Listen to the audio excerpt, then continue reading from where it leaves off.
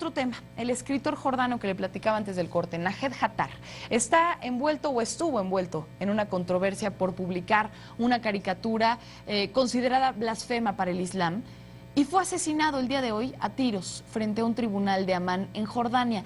Hatar recibió tres impactos de bala justo afuera del Palacio de Justicia porque estaba asistiendo a un juicio que justamente iba a ser en su contra por publicar material ofensivo para las creencias religiosas. Pero pues antes de entrar al juicio lo mataron.